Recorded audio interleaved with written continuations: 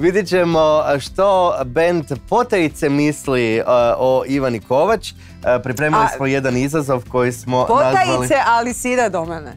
Pa dobro, Pa Potajice ti možda razmišlja, ali sad će konačno izaći na vidjelo.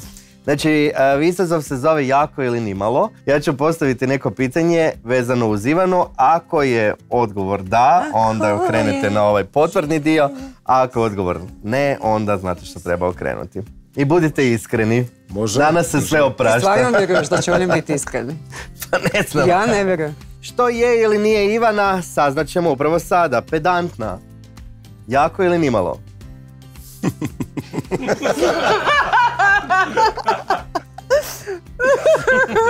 Ali samo malo. Ali... Dobro. Ali Okrenite, dečki i cure, da, Samo da. malo. O, u čemu? U kombiju. U kombiju. U kombiju, dobro.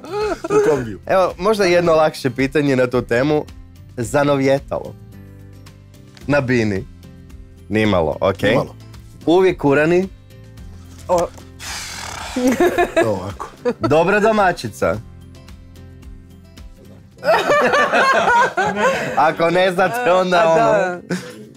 Mama po potrebi. Što ti to znači čovječe? Pa znaš ono da ako treba glumit mamu nekome i to. O, da! Pa mislim da je. mislim da je. Stroga šefica. Dobar prijatelj. To ne mogu ja odgovoriti. Ma možeš. A ajde ne ti. mogu, mi se kako ću? Dobar fotograf. Uuu! Svi imaju, svi imaju dobre Instagrame, jel? Ok, party breaker. Ono da se pokupi doma nakon...